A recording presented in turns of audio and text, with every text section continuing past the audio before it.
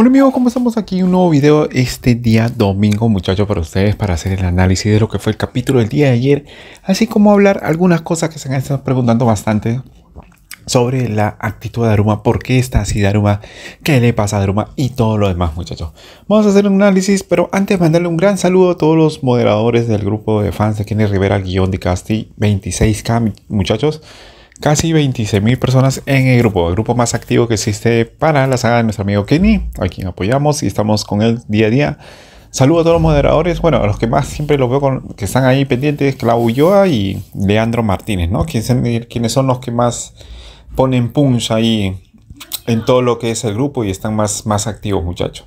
¿Qué pasó en el capítulo de ayer? Vamos a hacer un análisis rápido, muchachos, porque tenemos que ir a jugar pelota.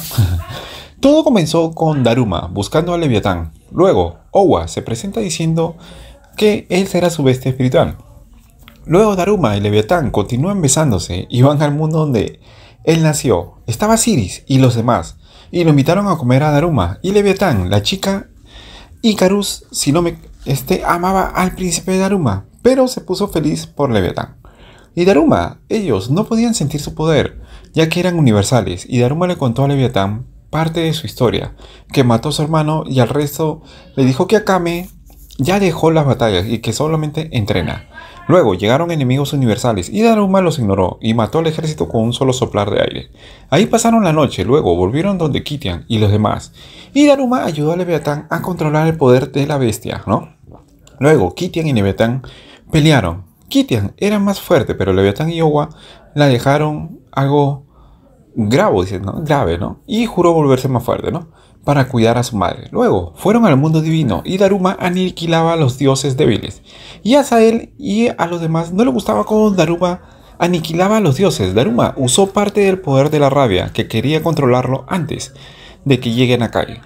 Luego, Leviatán le dijo a Daruma, yo te amo, pero no quiero vivir con un hombre sádico. Daruma mandó a sus amigos al mundo humano el capítulo, termina con la llegada de un dios invitando a Daruma a beber una copa y Daruma usa una píldora transformándose en el cuerpo humano de Nakai y se presenta ante el dios como Getsuga. Getsuga, muchachos, ¿no? Es el nombre antiguo, ¿no? Supuestamente del abuelo de Daruma, ¿no? Algo así, ¿no? O el padre de Daruma, perdón, me estaba confundiendo. Entonces, eh, bueno, el primer padre que, hemos conocido en toda la serie. Entonces, esta, este capítulo estuvo lleno de muchas cosas más que todo, ¿no? Este, bueno, acá en el pequeño entrenamiento de Leviathan Kitan Ley, este, la actitud que tiene Daruma en estos momentos, cómo aniquila a los dioses, cómo ya se siente él como lo que es verdaderamente el más poderoso de toda la serie, ¿ya? Ya se nos ha dicho, este, por parte de nuestro amigo Kenny, quien ha dado un super power a Asael, que él es el más fuerte, ¿no? Que inclusive es más fuerte que, que Daruma en estos momentos, solamente que no lo demuestra, ¿no? Entonces, si esa fuera o sea, si esa fuera, ¿cómo podría decir? Una característica especial de Asael, de que él siempre ha sido más fuerte. Entonces, ¿por qué estuvo atrapado pues en ese abismo masacre, no? Tanto tiempo, siendo una persona tan poderosa, ¿no?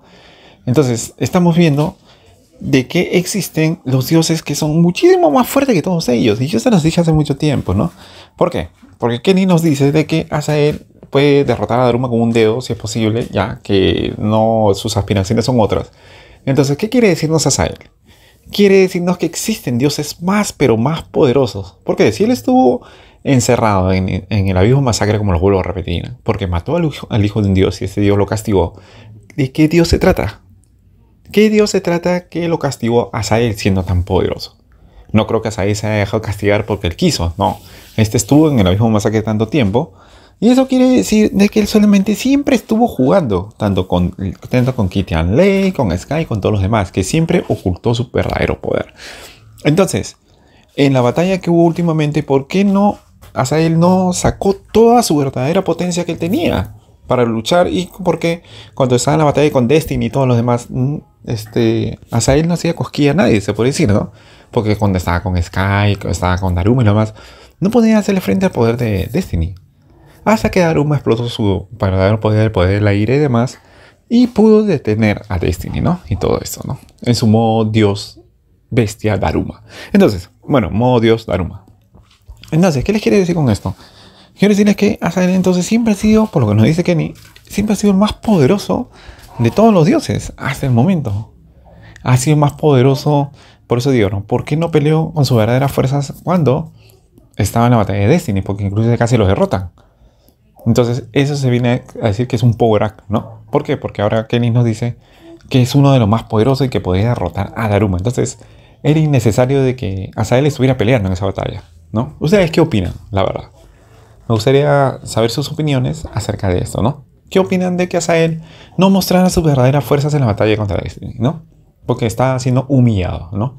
Inclusive en el entrenamiento que tuvo Daruma con ellos 5 tampoco no hizo nada este, Asael. Entonces eso quiere decir que solamente se deja guiar o que está jugando con todos ellos, ¿no? Porque si se decía que él empató en una pelea con Kitian Ley hace mucho tiempo, quería decir que él siempre fue tan poderoso que en ese tiempo también la podía derrotar con un dedo. Entonces son cosas que Kenny nos tiene que explicar. Lo voy a decir que le explique por qué él no utilizó su verdadero poder, ¿no? ¿Y quién es ese Dios? Pues también que lo castigó a la misma masacre al poderoso Azael. Muchos están preguntándose por Daruma, ¿por qué está con esa actitud? Y es porque es la actitud verdadera del dios de las bestias, ¿no? El cual tiene que tener para derrotar a todos los enemigos que se vienen más adelante, muchachos. Esa es la actitud. Y, probablemente también lo va a decir Kenny. ¿Por qué tiene esa actitud? Porque la actitud también que Saru le está diciendo que muestre por un lado, ¿no? Pero todo tiene un porqué, muchachos. Todo tiene un porqué. A mí me gustaría que ustedes lo pongan aquí, si es que es por usar la ira de que Daruma se pone de esta manera, o es porque ya se le subieron los humos, lo cual no creo, o es porque tiene que demostrar su omnipotencia, su gran poder ante todos los que quieran, ante todos los dioses que quieran sobrepasarse por él, ¿no? O que quieran asesinar a su familia y todo lo demás. Es por eso que le está mostrando esta faceta tan, pero tan poderosa, ¿no? Tan arrogante, como se dice, ¿no? Por lo que hasta el Leviatán dice que no quiere estar con alguien sádico. No es que Anuma sea sádico, él sabe por qué lo está haciendo y se lo va a decir a Leviatán en pocos capítulos que quedan. Ya muchos, o sea, en los próximos capítulos que vienen. ¿ya? Así que no más ansias, estén tranquilos, todo va a salir súper bien. Os mando un fuerte abrazo a todos ustedes este video día domingo, muchachos, el día mañana que es lunes. Tenemos video de, de Brawl Stars, también tenemos super spoilers de Goku Kuma, que la saga sigue, sigue para adelante, sigue candente, muchachos. Y también a veces hacemos creepypasta, también me están pidiendo bastante creepypasta, muchachos.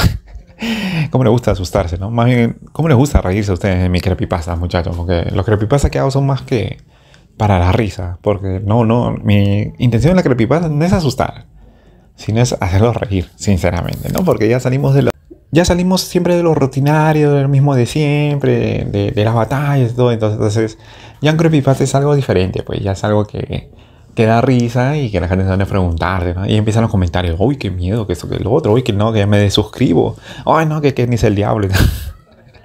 y nada de eso, pues, muchachos. Entonces, nada, os mando un fuerte abrazo este bello día. Cualquier pregunta o respuesta las leo en la caja de comentarios. Un fuerte abrazo para todos ustedes. Buen fin de semana.